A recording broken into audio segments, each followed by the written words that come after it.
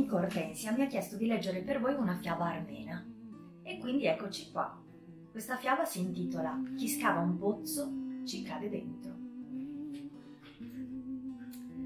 Forse c'era, forse non c'era una volta, un venditore di bibite.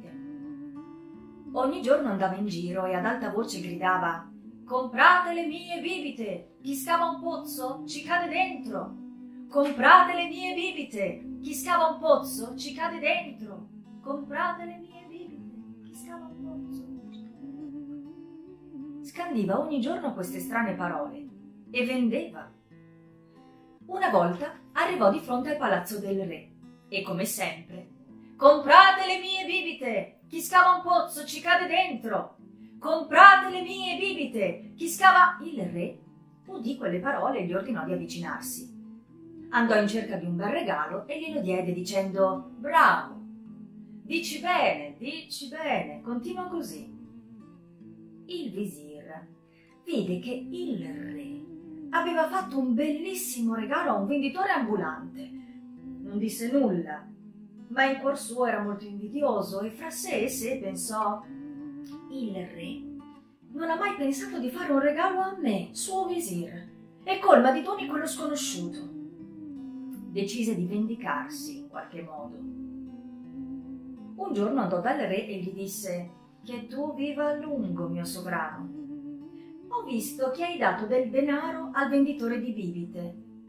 Ma non sai che quello è andato in giro dicendo che ti puzza l'abito? Il pomeriggio seguente il venditore di bibite passò di nuovo vicino al palazzo del re. Il re lo chiamò e gli disse Aspetta qua, devo consegnarti una lettera. E tornò con la lettera, che era destinata ai fabbricanti di sapone. Portami la risposta, aggiunse. Quello si avviò a eseguire il compito che gli era stato affidato dal re. Lo raggiunse il visire e gli chiese Cosa ti ha dato il re? Una lettera. Una lettera? Una lettera per i fabbricanti di sapone. In cambio riceverò da loro un bel regalo. Ma sai dove si trova la fabbrica? No, per la verità non lo so. Allora andrò io al tuo posto. Aspettami qui e ti porterò il regalo. Il venditore di bibite ascoltò il visir e gli diede la lettera. Il visir arrivò alla fabbrica di sapone consegnò la lettera e la diede al direttore. Quello la lesse e...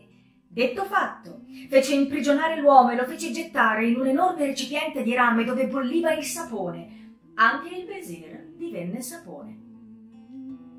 Il venditore di bibite intanto lo aspettava per ricevere il suo regalo. Aspettò un po'.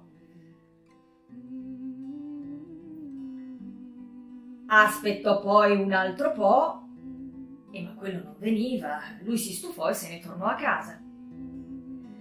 Il giorno seguente passò come al solito davanti al palazzo del re.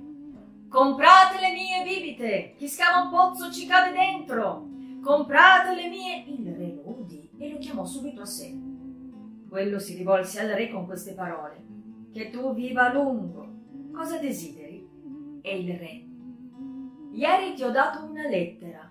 Cosa ne hai fatto? Che tu viva a lungo, mio re. Sono stato raggiunto dal visir, che mi ha chiesto di consegnargliela e di aspettarlo che mi avrebbe portato il regalo. L'ho aspettato a lungo, ma lui non è più tornato e io me ne sono tornato a casa. Ecco cosa è successo. Il re capì ogni cosa e disse Bravo, bravo venditore di bibite, che la tua vita sia lunga sono proprio giuste le tue parole. E si allontanò per un attimo, per tornare con un regalo ancora più splendido del precedente.